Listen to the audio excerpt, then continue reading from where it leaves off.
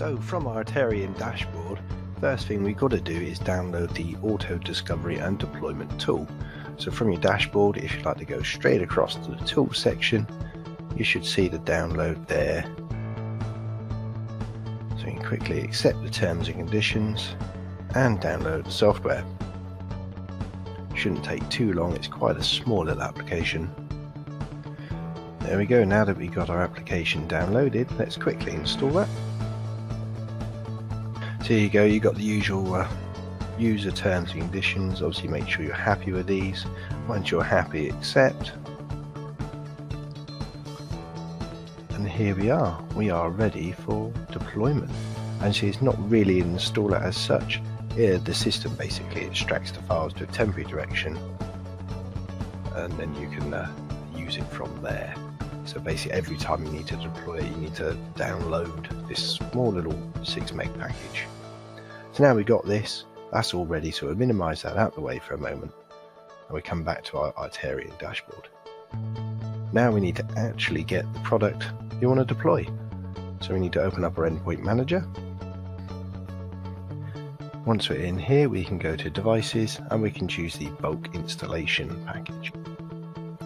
Okay, from here it's basically going to give us a complete and utter set of uh, options. We can either do a bulk installation package for the um, agent along with the antivirus if you wish, or we've got the option for downloading the remote ITarian control tool. But we're going to concentrate on the bulk installation package. So basically choose all the details, so if it's for custom A, enter their details here and choose them from whatever various groups. Um, you can then obviously add in device groups if you've got them. You can choose what operating system you want this, this to be for. Now we're going to choose a hybrid just to make sure because as we know most environments have both. And I'm just going to worry about the communication of the client at the moment uh, because it's for ITarian and the actual uh, security side is a Comodo product which you have to make sure you have licenses for. So we're not going to include in the antivirus definitions because we're not including the antivirus. Because we're not including the antivirus as well, it doesn't assign profiles and stuff for you, and there's no reboot options. On the UI here, so show a message if the install has failed. Well, once again, these are AV stuff, so there's nothing really to do. If your network has any specialized uh, proxy details or whatever else from the uh, agent's trying to connect, you can enter those now. If not, you can just simply download the installer. Now you'll notice on my machine here, it's already started to automatically download the installer, even though it's giving me a download option. So I'm just going to close this one here because we don't need it. And I'm going to go and show this in a folder so I can grab it and move it. I'm just going to move that in the background to an easy folder so we can use it. Right, okay, I've got that in the background already. Now we've got our dashboard minimized, we can go back to our ITarian deployment. So the first thing we need to do is select the package we want to deploy.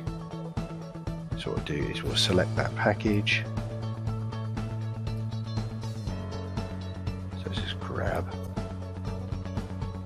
Location. So there's our package that we're going to deploy and we select open. Now because I didn't choose any of those options I didn't download the MST transformation file.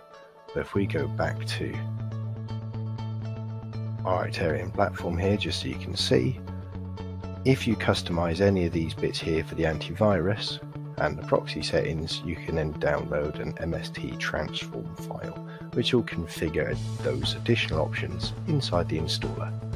But as we're just doing the agent, there's no need. So we got our package in, there's no need for our transform. So we can do here to uh, specify some parameters if you wish. So if you want to do like your, your silent no reboots and stuff like that, if you're very good at your MSIs, you can specify those here, but we're not going to do that today. And if you haven't done a combination package like me, you can choose to then put a 64-bit package in as well. So we're going to click the next button So it's now going to take us to our discovery options so we can discover what machines to install on. So the first thing we've got to do is choose, well, are we looking at Active Directory, are we looking at workgroup, or are we going to do it by network addresses? So we actually don't have an Active Directory on our test network here, so we're going to ignore that one. But if you did have an Active Directory you're doing for a client, it's very simple. You click on that there on a, a domain joined PC that you'll be doing this from. It already can speak to AD it can then list all the PCs from AD and you can just select them, provide your AD credentials and hit go. In a workgroup, which is a bit more us, what we're going to do is show available workgroups that may take a bit of time because I can't remember what we got off the top of our head. Oh, there we go, we've got an issue, no workgroups found. Now this is quite a common thing with um, deployments, especially in workgroups because uh, you might find you've already got your antivirus on, or maybe you haven't got um, network discovery turned on and bits like that. Um, so potentially this might not work. So what we're going to do, we'll go back and we'll choose network addresses. So what we're going to do now is we're going to stick in our test network address uh, slash 24. That should do that.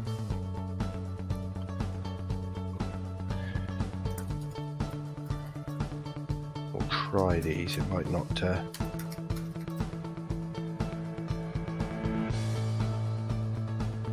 it might not work, but we'll see what's going to happen. Okay, our discovery has uh, happened and it's currently deploying. So if we just expand so we can see what's going on. There we go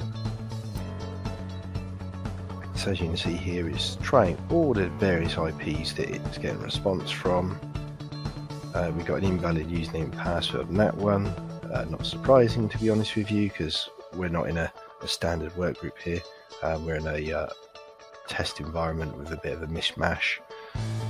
Right, we got a, an installation failed here. Now that there, um, we can actually explain that one straight away. We don't have to worry too much about it. As You can see our password was correct but uh, that's already because it's previously installed. This is the machine we are currently on now. Once the installation is finished, you'll get a nice report back here so you can see what mop-up jobs you need to do. Thank you for listening. We'll see you again.